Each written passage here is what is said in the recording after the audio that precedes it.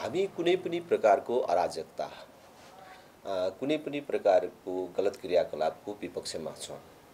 तर जब राज्य कमजोर हुन्छ राज्य जिम्मेवारीबाट विमुख हुन्छ देशका प्रमुख राजनैतिक दलहरू सरकारमा बसेका मानिसहरू जनताको सुख सुविधाभन्दा सत्ता केन्द्रित बन्न थाल्छन्।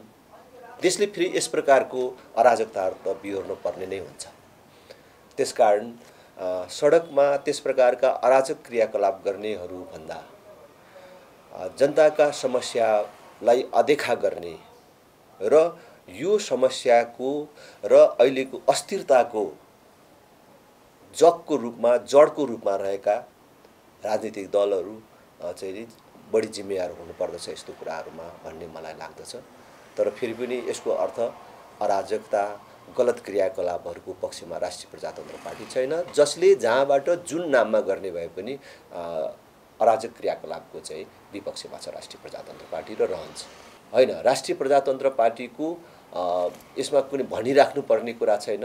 राष्ट्रिय प्रजातन्त्र पार्टीले यस प्रकारको अराजक क्रियाकलापको कहिले पनि समर्थन गर्दैन र जसले गर्ने भए पनि जुन बाहनामा गर्ने भए पनि सदैव विरुद्ध छ त्यो भनिराख्नुपर्ने विषय होइन सायद चाहिँ संसद चलिराखेको अवस्था थियो भने राष्ट्रिय प्रजातन्त्र पार्टीले संसदमा आफ्नो कुरा उठाउँथ्यो तर अब सरकारले संसदलाई बिजनेस पनि दिन सकेन।